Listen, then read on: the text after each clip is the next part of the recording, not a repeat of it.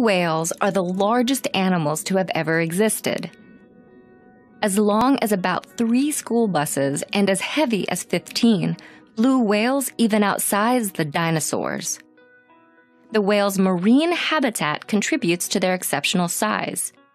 The ocean provides more room to grow and eliminates one of the factors that usually hinder animal size gravity. Gravity limits the size of land animals to what their skeletons can support.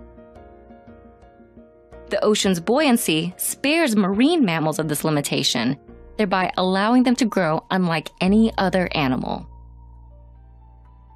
Blue whales have one of the loudest calls in the animal kingdom. Measuring up to 188 decibels, their song can be loud enough to overpower the sounds of jackhammers and jet engines. The whales use their powerful songs to communicate with each other, oftentimes from long distances. These vocalizations, which are deep moans and rhythmic low frequency pulses, have been recorded from over 500 miles away. A blue whale's age can be determined by its earwax. About every six months, a new layer of earwax forms inside a whale's ear canal. The wax primarily serves to protect the ear canal and helps carry sound waves into the whale's inner ear.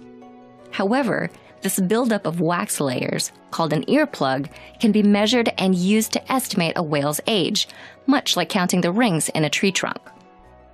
The average lifespan of a blue whale is about 80 to 90 years, but the oldest one found, based on its waxy earplug count, was about 110 years old. Blue whales can eat four tons of food a day. That's more than an African elephant weighs. Despite the whale's enormous size, their diet primarily consists of tiny crustaceans called krill. The whales use their pouch like lower jaws to scoop up swarms of thousands of krill floating in the water.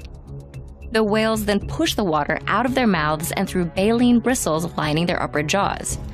The bristles are thin enough to let water through, but thick enough to catch krill.